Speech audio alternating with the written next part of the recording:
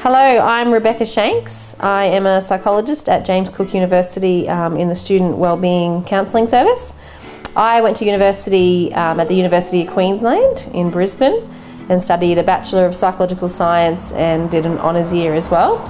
And then following that um, was required to do a two-year supervision program or internship program. Um, and I, I, found my uni experience to be amazing. I really enjoyed um, the University of Queensland.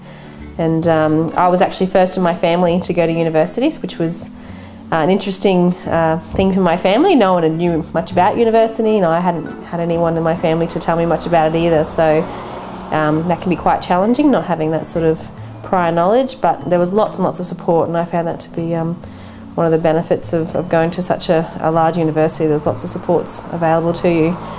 So within my current role, um, my job is to provide uh, psychological support counselling um, to the students of JCU and also provide assistance to staff who may be dealing with students who are dealing um, with some sort of mental illness or, or struggling throughout university.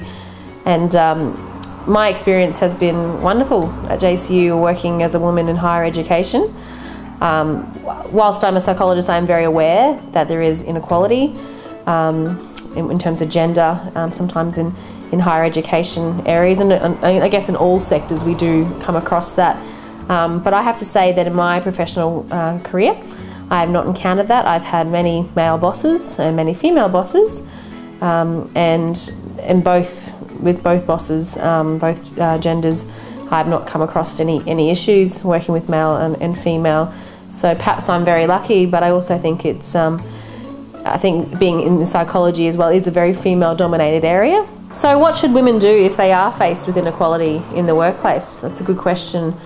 Um, I think it's a very difficult um, situation to find yourself in, especially in higher education. You know, if you're in the research sort of thing in the field and you're trying to get grants and things like that, you're not sort of wanting to cause too much disharmony. But I think it's important that as women we stick together and we speak up and we talk to each other and we support each other um, and that we don't allow it to happen, we say no.